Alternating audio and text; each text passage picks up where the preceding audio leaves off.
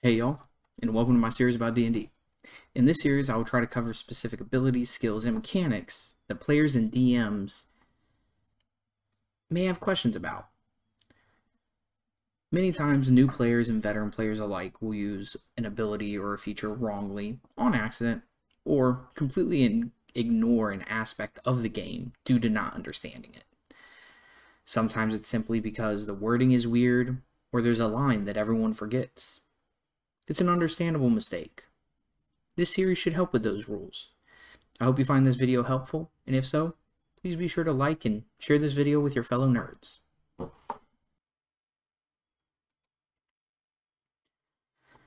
Good day, my fellow nerds. Today, we will be talking about running a session zero. I'm going to be honest, I'm surprised to hear that there are still tables that skip this step.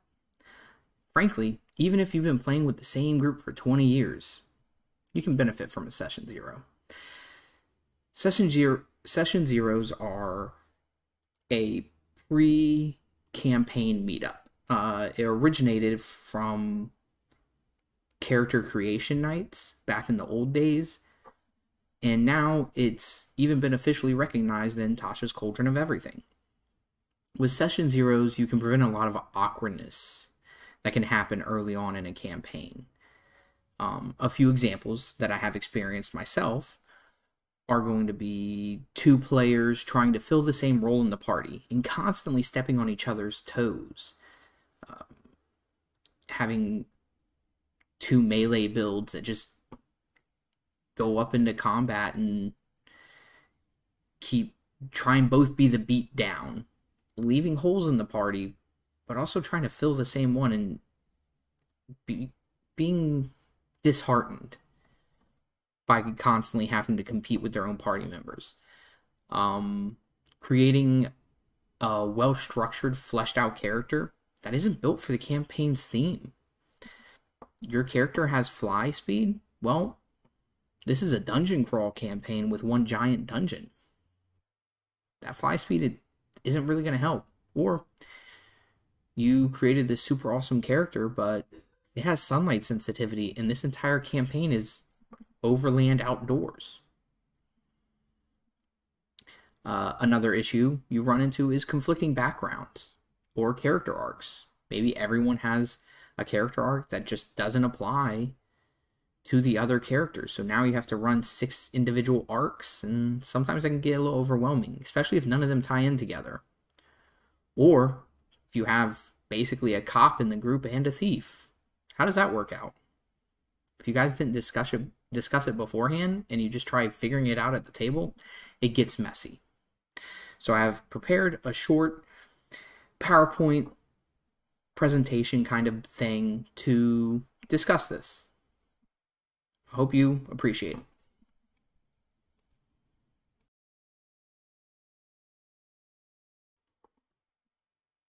Session 0.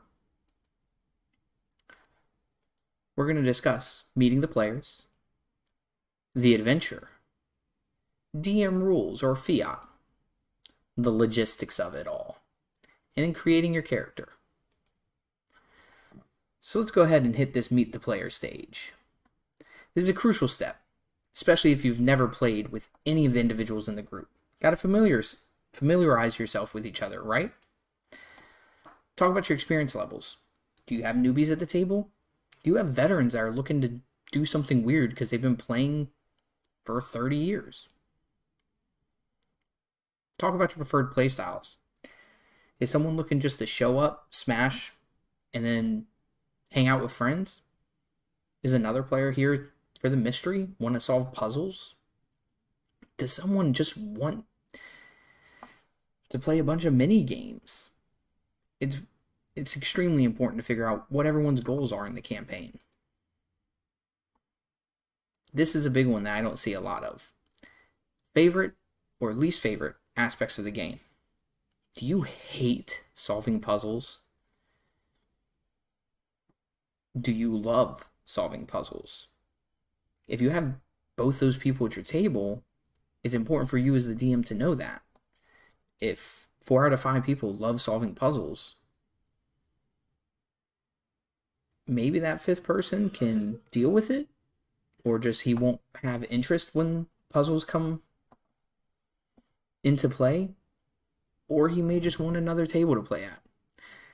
Again, no D&D is better than bad D&D. And if you're not enjoying yourself, you really should find another table. This is why session zeros exist. Finding out if you and the table synergize.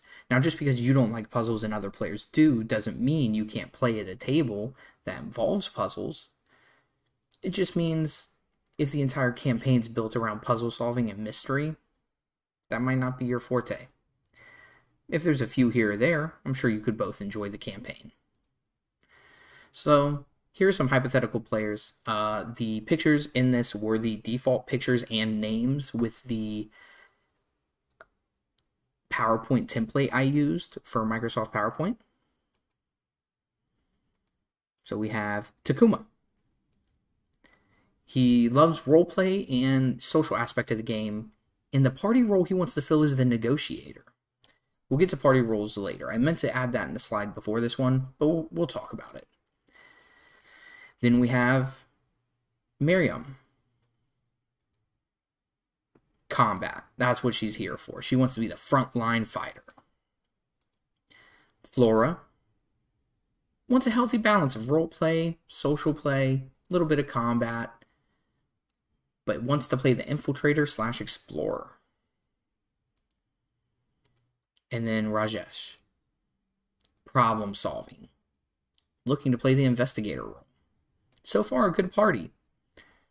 No one's stepping on each other's toes. No one's trying to fill in holes that the other one's already trying to fill. And they all want interesting things in this campaign but none of them want the same thing completely. Everyone wants the same thing. Everyone wants a healthy balance, right? Everyone wants combat. Everyone wants some role play, some social, some problem solving. This is what their favorite part of the game is.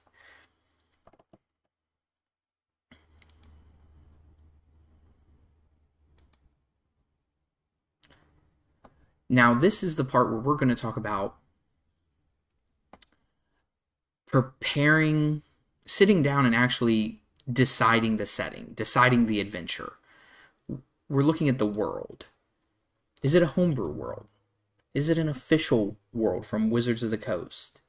Is this third party content? Is it a created world like Wildemount or something similar? What's the theme of your world? Are you doing overworld travel? Are you going to be in an Underdark adventure? Are you going to be seafaring pirates? Are you going to be in space? These are all good questions and they all matter because when it comes to creating a character, these are things you need to know. Because nothing is more disappointing than creating a character that can breathe underwater like a Triton and then the entire campaign is in the woods.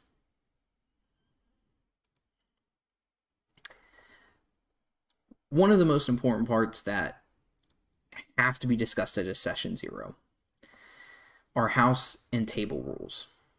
Changes to the game have to be discussed before they come up at the table.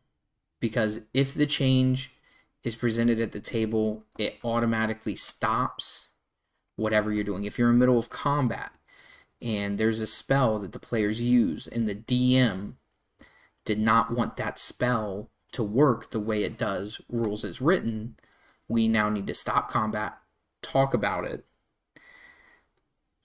and have a discussion. Because yes, the DM has the final say, but this is a group game. So the DM just doesn't dictate laws about the game and then everyone just agrees. You can give a little bit of pushback or justification or maybe ask for clarification all of this kills a session if it comes up in middle of one. So you want to discuss as much of it up front as you possibly can. Fumble tables are a big one. If I roll a natural one, do I just fail or do I shoot my ally in the foot? I would like to know that. What's the ruling on critical damage? Are we Are we following the rules as written? Are we bumping them up? Are you nerfing it? Are we running the inspiration system? What kind of things can we do to get inspiration? And any other modified rules. One personally that I run at my table health potions heal for the average. If you get a regular healing potion, they heal you for 7 HP. This was a decision my table came to unanimously after a campaign in which every time our wizard drank a health potion or was healed by someone else's healing spells, they rolled double ones. Mm, it was rough. So that's the house rules. Let's get to the DM fiat, which is kind of a subsection of house rules. Things the DM wants to ban, like spells, need to be discussed at the session zero. Shield, counterspell, banishment. Ah, man, I'm drawing a blank. I'm sure there's another one. Uh, but I've seen these spells completely outright banned. Um, I've also seen them uh, adjusted in a way. Either their spell level goes up or they do less than what the text says. This is something you need to know in session zero. It's also not expected that your DM knows every spell and how every spell works to discuss it. So if you if you're going through as a spellcaster, if you're planning on playing a spellcaster and you're picking spells and you find one that's just super awesome that you're going to take, run it by the DM. Because the reason it's super awesome is because it's good. Maybe too mm-hmm. good. Or maybe it directly steps on the toes of the campaign plan. Being able to cast Remove Curse to get rid of lycanthropy could be a huge hole in the storyline that the DM didn't think about. If that's the case, maybe he has to DM fiat that lycanthropy is isn't removed by the remove curse spell. Uh, species. This is a big thing. Uh, a lot of species that have flight get banned uh, powerful species with magical resistance, like satyrs, get banned. Yuan-ti are just ridiculously powerful species. Some DMs do ban them. Last thing you want to do is show up for game night for session one, present your character, and then your DM is like, whoa, wait, those don't exist in my world. Or you don't have flight until level five. Again, you this is something to talk about session zero, but there's also something you can give a little pushback on. A fix I have seen is DM saying, I don't allow flying species at my table. But players then rebuttaling with, what if my wings are injured at the beginning of the session, campaign, and it takes a long time for them to recover? Maybe five levels worth of time. Wink, wink. And the DM will sometimes say, okay, subclasses um, or classes in general. Artificers, they are not in the player handbook for a reason because they are setting specific. Artificer may grade against the theme of the campaign that we talked about earlier. It may not lore wise make sense for the artificer to exist. Or it could go against what some of the other players are trying to build thematically. So the DM may ban it. There are other subclasses that the DM may just find a burden to deal with in play, or that other players have decided they don't like other players picking up. I've been at a table where the DM didn't ban any subclasses, but other players requested that no one take Twilight Cleric, even as a multi class dip, just because it's got some strong abilities. I've actually been at a table where players requested no one multi-class Hexblade. That if you want to play Hexblade, you do straight Hexblade, but no power building with two levels in Hexblade. This is an important one. Optional rules. There are more rules that people play with regularly that are optional rules than a lot of people think about. Like feats. These are an optional rule rules as written, feats are not a given rule. They are an optional rule that the DM can agree to allow. This is very important because I love my brother to death. And but when we were going to play D&D together and he told me he does not allow feats at his table, I said, "Man, it's going to be great talking to you about your campaign because I ain't going to be playing in it. I just cannot play at a table without feats. It's kind of wild, but it is an optional rule, and some people do choose to opt out of it. Another optional rule is flanking. This is going to be a big deal because if the entire theme of your rogue is dual wielding for that sneak attack and hoping to get advantage by coming in and flanking in melee, well, flanking is an optional rule. And if you're not playing with it at your table, that's going to be a drastic change in how you play your character because now you're not going to get sneak attack by flanking because you won't have advantage. Class features. Tasha's Cauldron of Everything introduced a lot of optional class features as well as custom lineage and other things. Um, these things need to be talked about. Anything with the optional tag need to be talked about. Like I said, custom lineage, um, being able to adjust your ability scores, which is also added because if you're a mountain dwarf, you now get plus two plus two. You can put either of those anywhere you want.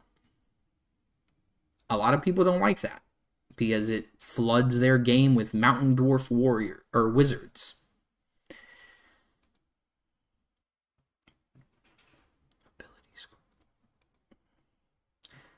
Customization. Some tables start with level 1 feats. There are many different ways to do this. You've seen it if you've seen anything about 1D&D. They've implement, implemented level feats and they allow you to get a feat at level 1. Some tables have been playing with this for a long time, mine included. The way we've run it at my table is you present to me your backstory, your character concept, your species, and how you plan on playing the character pretty much. What what um what role you're trying to fill. Um, you basically present your character and their story to me as a DM. I read through it, I look it over, and sometimes I'll prevent you I'll provide you two or three options of feats. These feats are never sharpshooter, great weapon master, or polearm master. But could be something like cook, inspiring leader maybe. Hell, I've even been known to give out shadow touched. It, it's something that some DMs do that is worth talking about at level 1 be, or at session 0 because if at level 1 you get a free feat, maybe the DM doesn't allow variant human because they already hand out a free feat. I know a guy. This rule was, I believe, brought to us by the Dungeon Dudes, Monty Martin and Kelly McLaughlin. When your characters are creating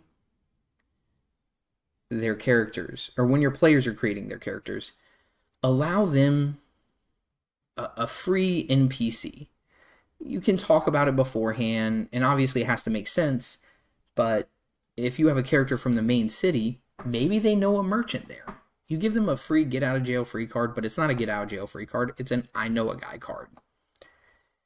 Once per campaign, my players can basically create ask for an NPC to solve a problem for them.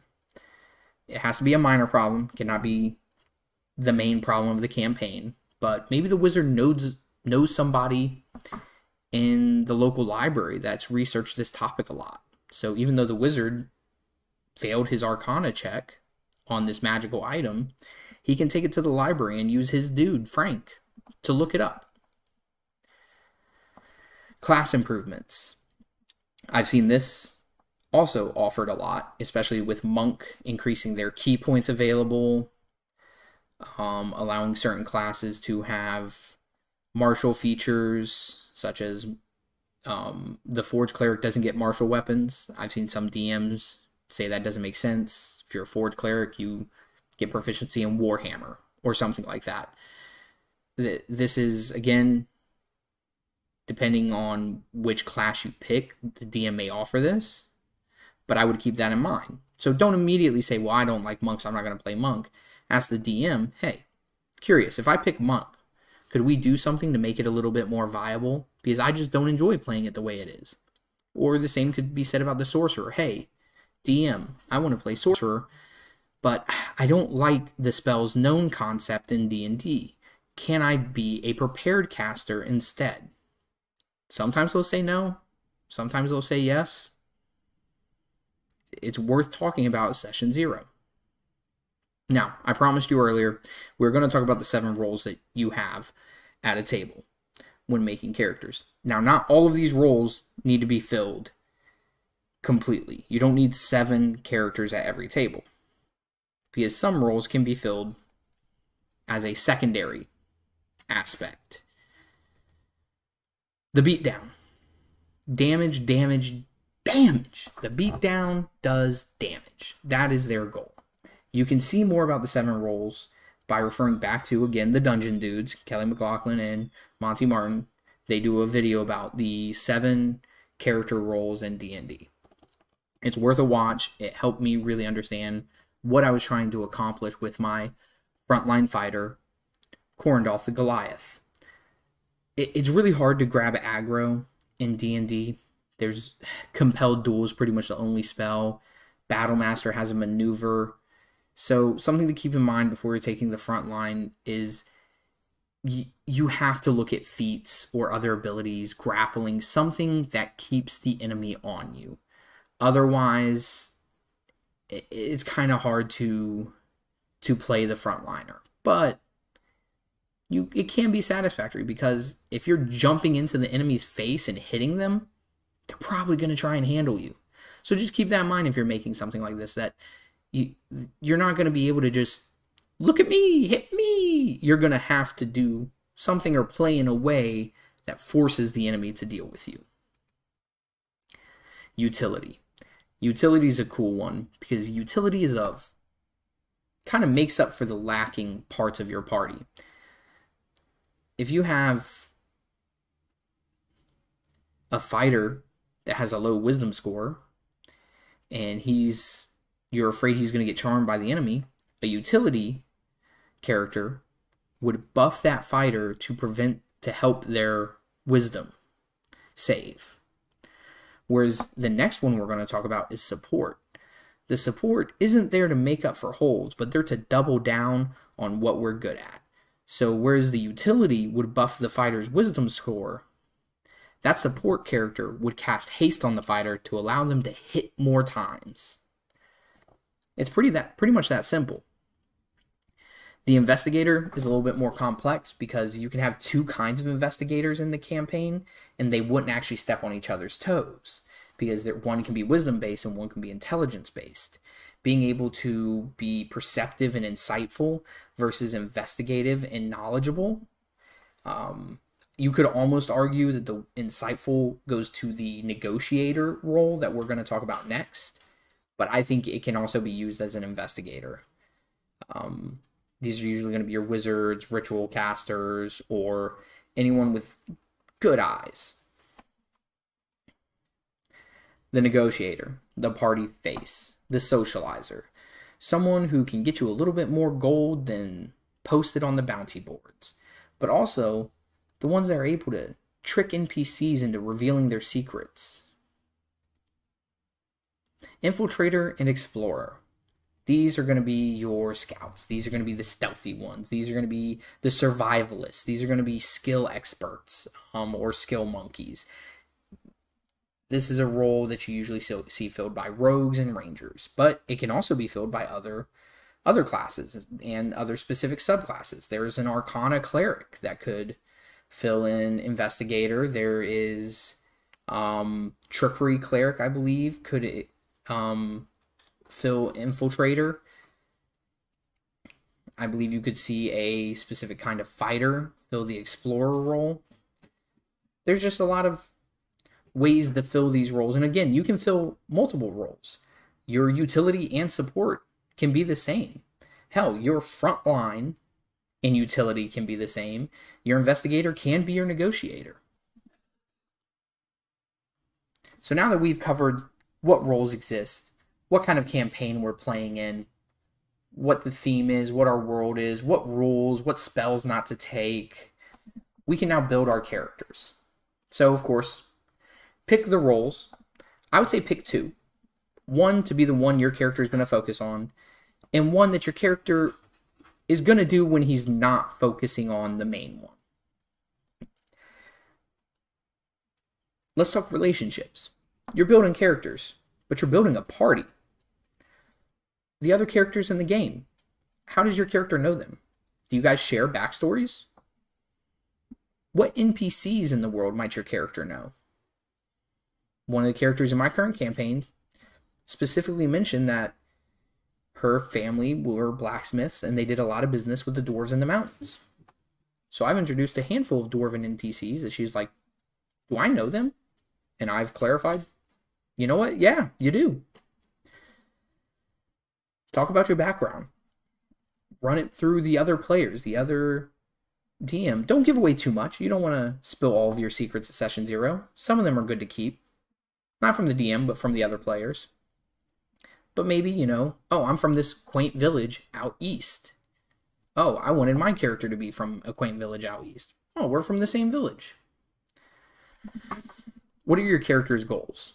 Why is your character going on an adventure? Where are you heading? Who are you looking for? What is what is your goal? This can be also answered unanimously by the group. Maybe they all want to work towards the same goal. Maybe the theme of your campaign is a demon lord broke out of his cell and is trying to take over the world, and your group is going to kill him.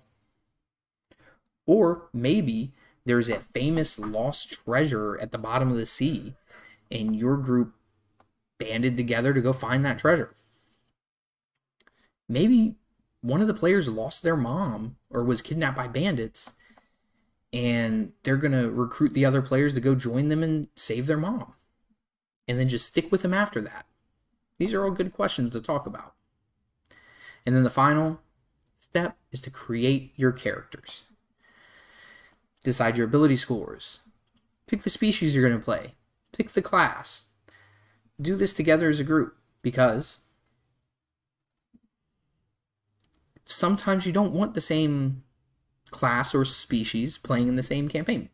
You don't want to end up with a party of all dwarves, or maybe you do maybe that's something you discuss where you all decide you want to play dwarves. And your then mother that was watching after you guys fell ill and has gone into a coma and you now have to go to the local lord to find a cure. And there's the party connection. The party connection could also be you guys had already adventured. You shared a home. You have the same patron this goes back to the goals and creating your characters, the background. Honestly, this just sums it all up. Why is your party together? Because if you can't answer that question, it really makes running a campaign together hard. So, now we're getting into the logistics of it. When do you guys meet for D&D? What's your schedule? I meet every Wednesday, 7 to 10 p.m. consistently if we run out of players, if two call out, or honestly, we have a small party right now, so even if one calls out, we'll try to adjust the schedule maybe by one day before or after Tuesday, Thursday. But if that doesn't work, we usually just cancel for the next week. You got to stay consistent. If you can't meet your time, you just skip it. Where are you going to play? If you're doing it in person, is it at the DM's house or is the DM coming to you? If you're playing online, what servers are you using? Roll, roll, roll 20? Foundry? Zoom? Again, how do you handle absences? Um, I have three players, so we just cancel. But what if we didn't cancel? What if the th- other two players were like, man, we really want to play? And that third player was like, you know what? Play without me, it's fine. Does DM control that character? Do they make decisions for that character? Or is the character just in the background? Do we pretend like they don't exist for this session and then just next session they're there? This is an important thing to discuss. Because the last thing you want to do is have your group play and you come in and they played your character a way you didn't want or they handled it in a way you didn't want. Maybe there was a situation where you think my character really would have spoken up in this. Why didn't you have him speak up? Well, we didn't agree on how we would do it, so we defaulted to the character being in- invisible. Who does what? This is mainly in person. Um, there is some online caveat. So if you're in person, who's bringing the snacks and drinks? Who's who's bringing all the minis? Who's moving the minis? That's kind of important. When I played with a group, one guy among us was six foot four. The rest of us were under six. So when it came to reaching across the table to move a mini on the map, guess who got stuck with that job? Um, online, in one of the campaigns I played, we actually had one player that was the DJ. He would pick what songs were playing. The DM would say, roll for initiative. He, before even rolling for initiative, he would go in and grab a playlist, put it in the Discord for the bot to play, and then he'd roll initiative these are all things that you need to discuss because it's the logistics. It's it it makes running your session smoother.